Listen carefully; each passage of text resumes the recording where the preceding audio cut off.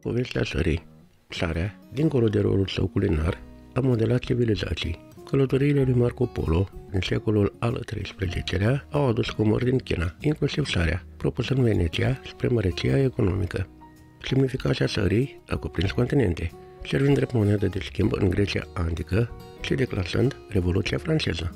Marea Moartă, a cărei apă este de 10 ori mai sărată decât apa altor mări, a jucat un rol biblic și rămâne o minune a naturii. Sarea a influențat luptele politice.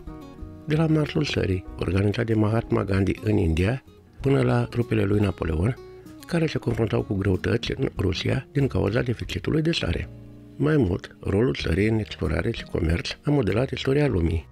De la flotele portugheze și spaniole, care conservau peștele cu sare, permisând explorarea globală până la pionierii americani care dau restricțiile britanice de sare în timpul războiului de independență, sarea a jucat un rol determinant în momentele esențiale. Dincolo de rolurile sale economice și politice, sarea și-a găsit un loc în ritualurile religioase din întreaga lume. De la ceremoniile antice grecești până la tradițiile evreiești de sabat și practicile budiste, sarea simboliza puritatea și respecția spiritele rele. În Biblie, sarea simbolizează acordurile de durată, lucru pe care îl găsim în învățătura lui Isus, care spune că discipolii săi sunt sarea pământului. Această metaforă capătă o relevanță contemporană, sugerând că aderarea la principiile atemporale poate combate provocările etice din societățile care se confruntă cu decăderea morală.